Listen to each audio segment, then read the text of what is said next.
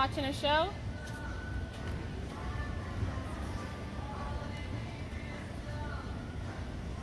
Huh? What? Camera?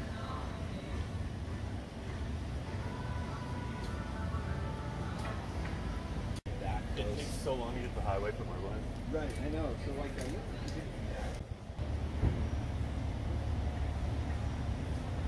Um, are you like recording people or something? Cause like I've had a couple people be uncomfortable with it. Excuse me, you're interrupting my video. I'm. What is your name, please? Charlie, Charlie what? are you just recording random people? Charlie what? Why would I? Why do I? have What's tell your you last name? Where do you work at this place you're- behind you're- you, Nick the Greek? uncomfortable recording- Do you recording work at this establishment? Yes, I do. Nick the Greek? Is there Okay. Go ahead and call the cops. I don't owe you any explanations, and I don't care about. recording random people walking by, and it's not okay. Yeah, it is. Oh, says who? Says the business I'm right here in front of. It's not okay. Well, they don't own the sidewalk. Okay, well I don't want to be recorded. Well, then get away from my camera. Okay, I'm gonna call someone. Cause Call whoever you want. That's that's fine. It's not illegal to record in ca- It in public. record people that don't want you recording them. No, it's not. Okay.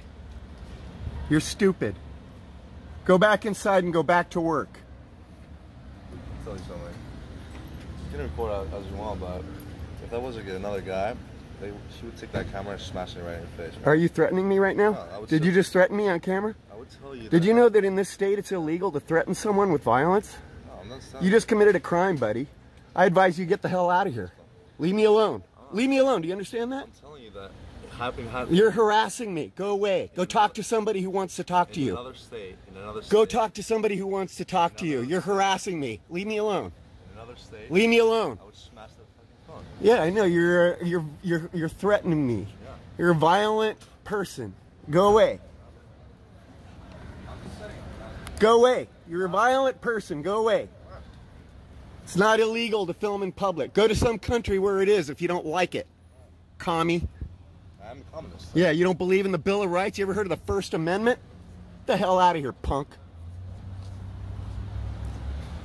I'm not. I'm just standing on the sidewalk.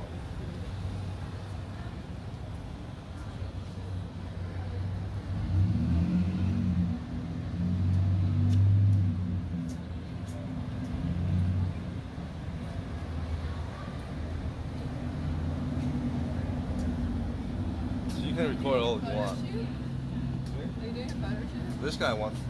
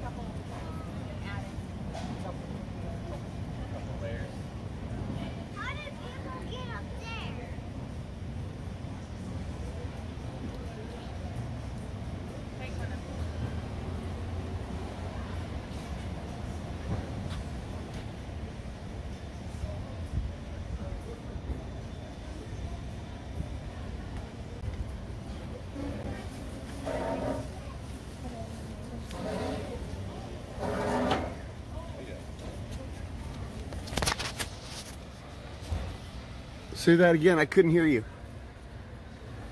Couldn't hear you. Don't film me. Couldn't hear you. Don't film me.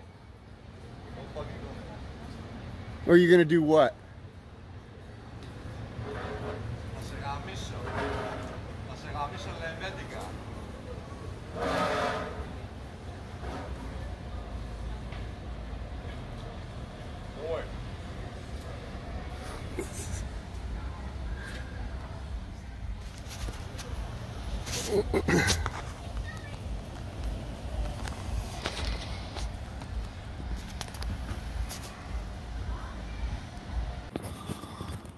Alright, so uh, I was filming uh, Bubblegum Alley here in San Luis Obispo, and a couple of the employees uh, tried to come out and uh, tell me that I didn't have the right to film, uh, so I decided to go live.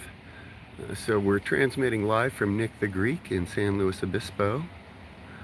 Uh, and we'll see uh, the one of the employees threatened me physically and the other one threatened to call the cops. So I'm waiting to see if the cops arrive uh, which I'd be very surprised if they did. And uh, then uh, see if this guy comes out to follow up on his threat uh, physical violence regardless this live video will be added to the uh, permanent video that goes up. Uh, and we'll do uh, two videos. One will be of Bubblegum Alley and the other one will be just Nick the Greek. So, shooting live from Nick the Greek.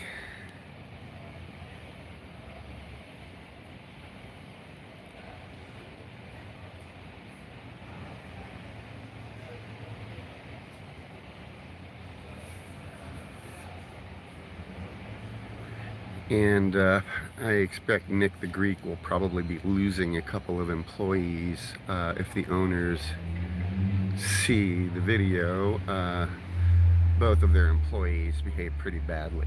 So, um, just a reminder to people, uh, if you see someone filming in public, uh, it's none of your business.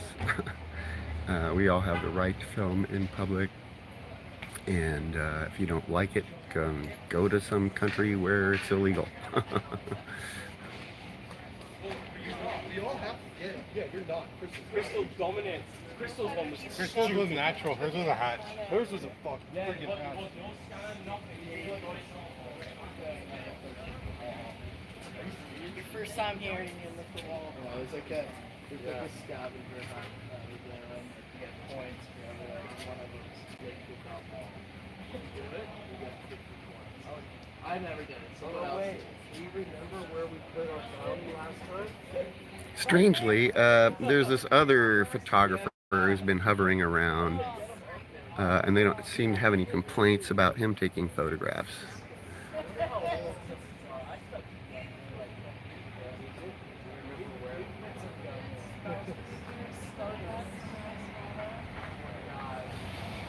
Getting a lot of good content from Nick the Greek today.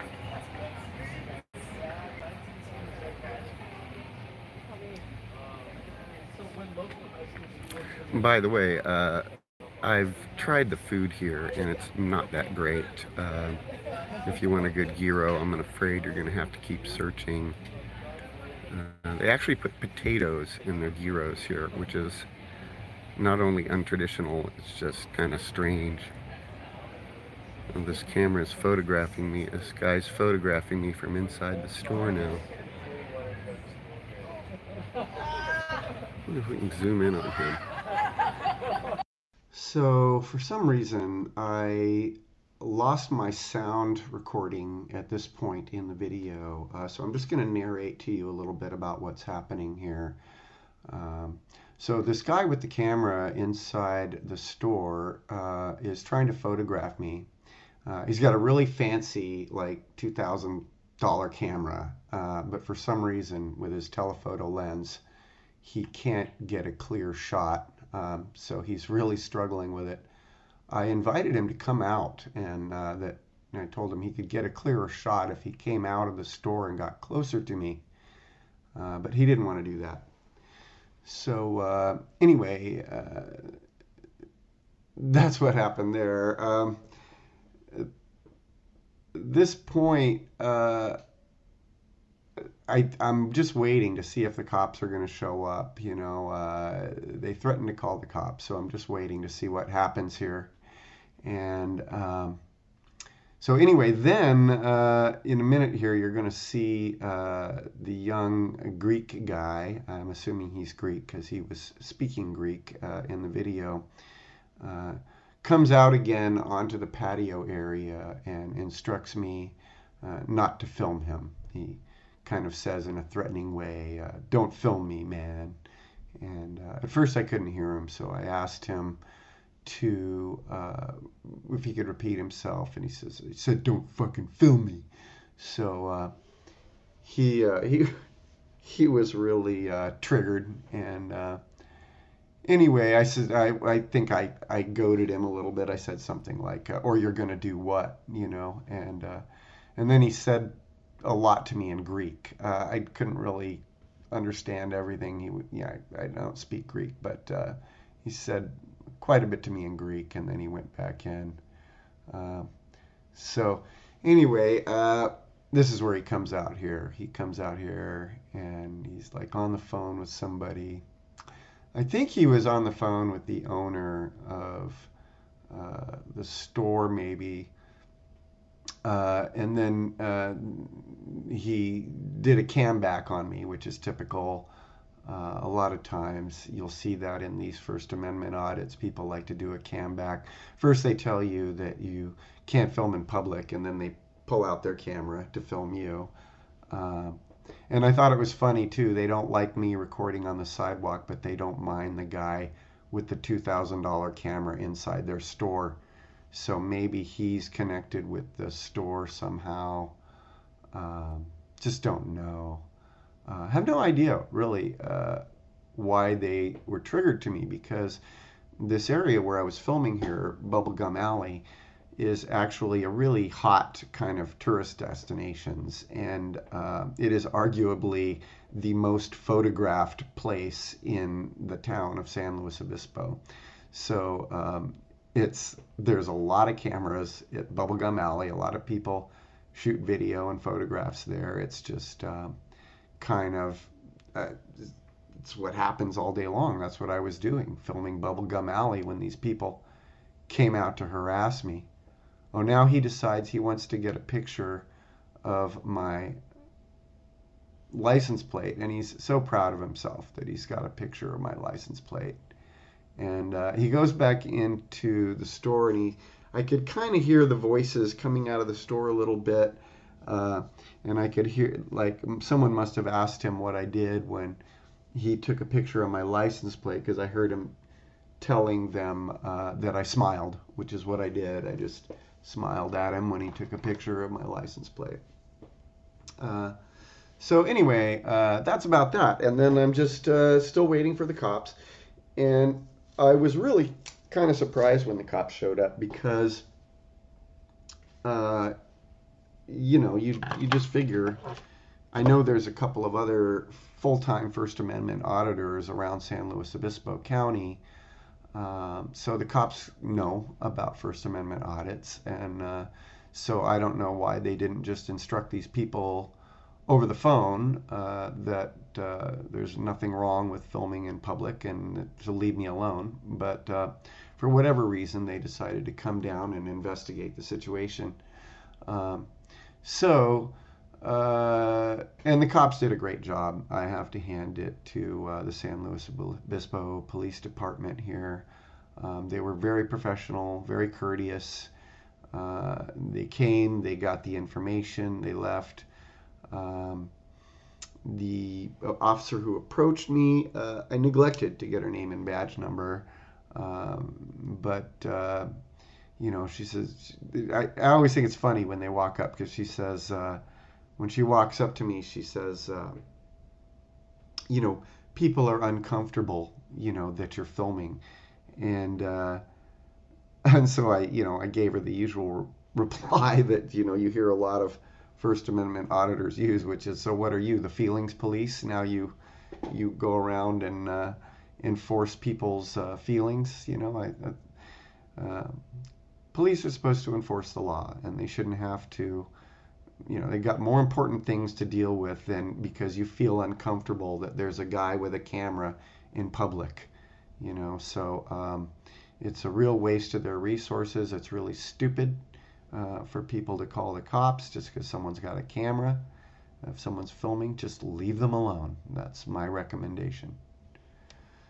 Uh, all right, so that's uh, that. Um, and so we'll, uh, I guess, um, it takes a little while for the cops to show up. So uh, I'm just going to end the narration here and then we'll go ahead to the part where the cops show up and I'll complete the narration.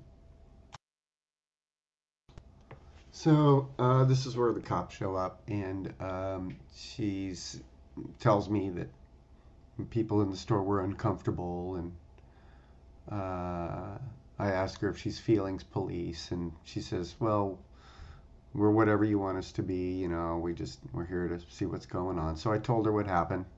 I'm here filming Bubblegum Alley, and uh, some a couple of employees came out of the store to harass me, and I asked them to leave me alone.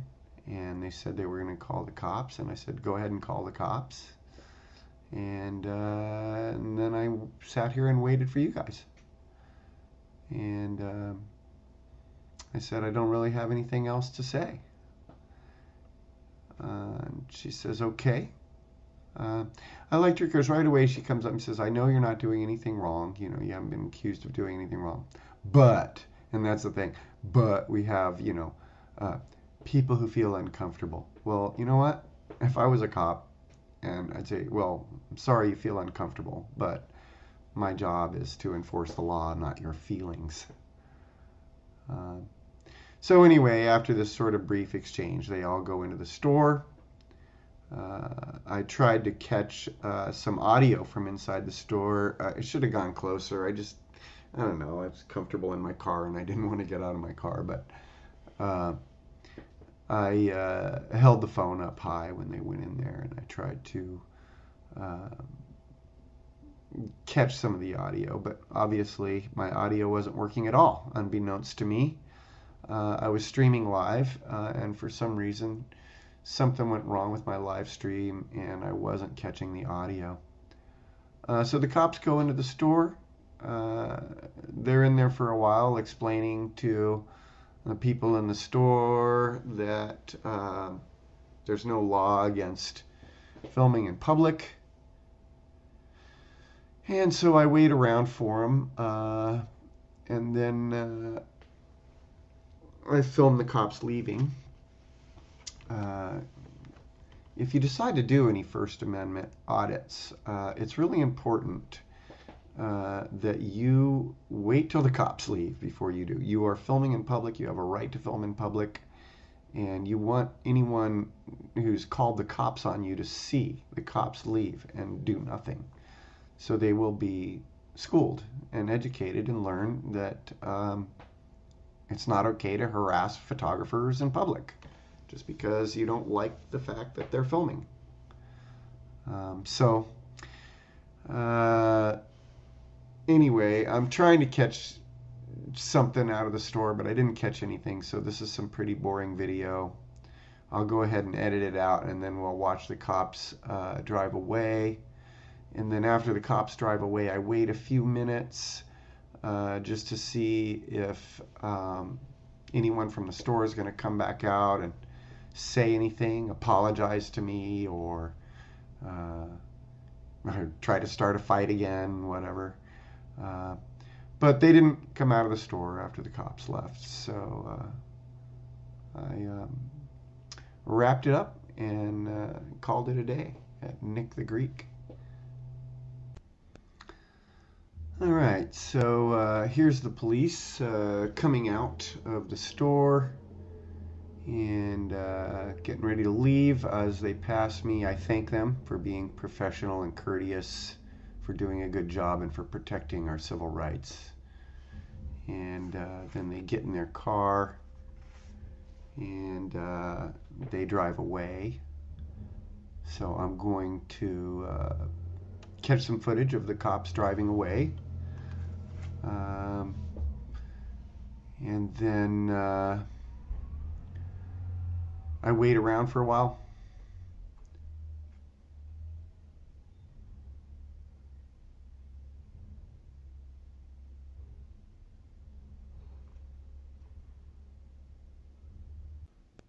And there they go. Uh, and they did a great job. Uh, so then I just hang around for a while to see if anybody comes out of the store, but uh, seems like nobody did. So I left. And that's the story. Uh, so if you uh, feel like it, uh, feel free to give Nick the Greek in San Luis Obispo a call and let him know what you think about the First Amendment uh, and the behavior of their employees. I'll, uh, I'll go ahead and post it under this video.